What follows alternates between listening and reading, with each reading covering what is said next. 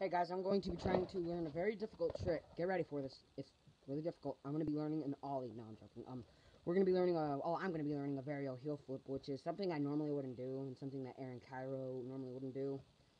Um, but it's a skate move that I've gotten actually really close to today, so I figured, hey, why not shoot a video of me trying to land a really hard trick?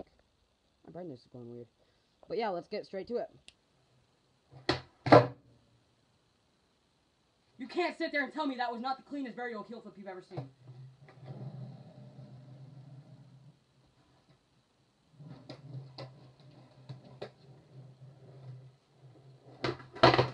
Like I said, two to make it true, and we are at 11 minutes.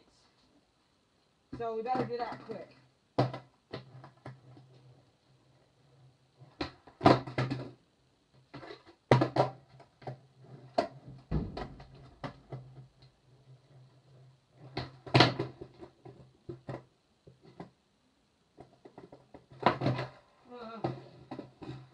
Exhausted when you can't flip your own board over.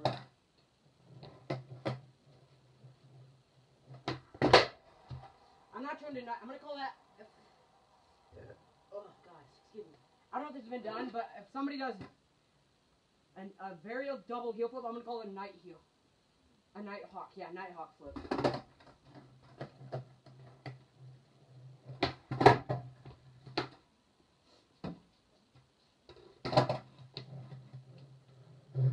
Oh my gosh, I keep tripping on things. From one thing to another. This documentary is about Leo tripping on things.